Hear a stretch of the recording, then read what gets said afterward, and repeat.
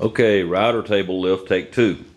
I had my, um, my finger covering the microphone hole, uh, so, uh, a lot of the uh, audio didn't come out very well.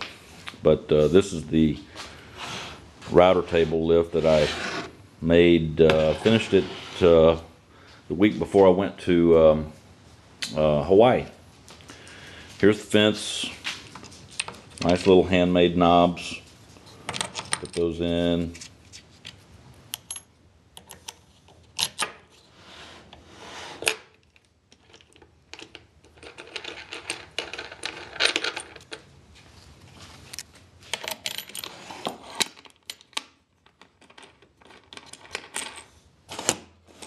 Fence goes back and forth. I haven't attached the vacuum attachment. I'm, I don't think I'm gonna use this one. This is the one that came with my DeWalt router. And, uh, I don't think I'm gonna use it. I'm gonna build a little port for the vacuum, uh, right there.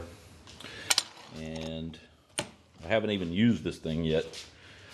But anyway, the uh, lift mechanism is, is done with this handy gear turn.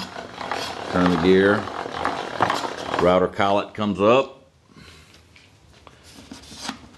Take off the insert. The insert is uh, held in with a uh, door magnet right there. There's the door magnet. And uh, let me just pop this thing back in.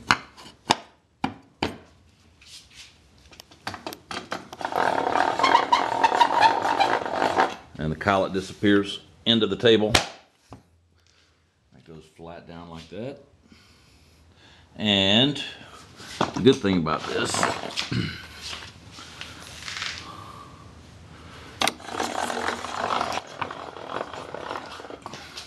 this off like this.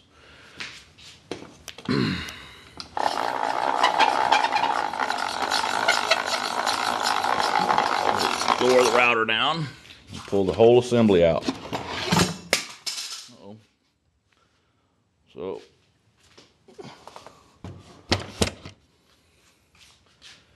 anyway, there's the table. There's the gear mechanism that makes it go up and down. I had to wax it really good for it to work. There's another handmade knob to lock the router in place for height.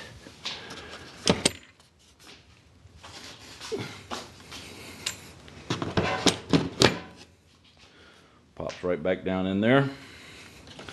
Of course, you can take the fence off. There we go. That's it.